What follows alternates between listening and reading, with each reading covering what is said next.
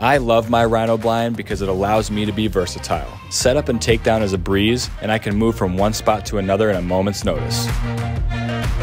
Rhino blinds hold up to the toughest weather conditions, and I have no hesitation in leaving it out in the woods while I'm not hunting. With the zipperless doors and windows, I can climb in and out of my blind without making a sound. Rhino blinds, the toughest ground blind known to man.